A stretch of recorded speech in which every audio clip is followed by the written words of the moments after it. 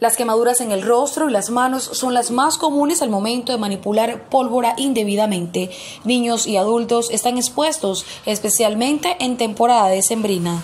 Para contrarrestar este flagelo, el gobierno Lo Hacemos Mejor emprendió una campaña que es respaldada por muchos ciudadanos conscientes del peligro que representa la pólvora. mensaje que le diría a sus papitos que no a la pólvora porque es, es un perjudicial para sus hijos pueden estar, perder una mano, la vida, y eso no es un juego para niños.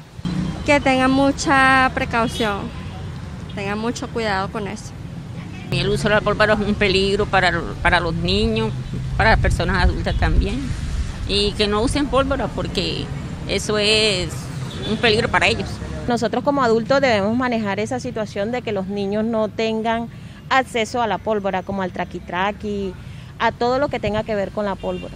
Pedirle a la comunidad que se abstenga del uso de la pólvora porque daña muchas mucha familias y deja un trauma muy grande en cuanto a la niñez, porque los niños que han sido quemados, mutilados por la pólvora, eh, les deja un daño psicológico en su vida. Hay otros medios de, de pasar en familia, de sentirse a plena eh, y pedirle, en vez de tomar la pólvora como un entretenimiento, buscar la Biblia y leerla.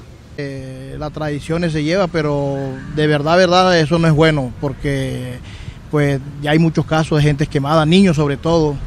Entonces los adultos tenemos que tener conciencia y decir en esta Navidad no a la pólvora. Amen a sus hijos, pero que no le compren eh, pólvora. El gobierno lo hacemos mejor, convoca a los alcaldes del Cesar a tomar medidas de control y vigilancia.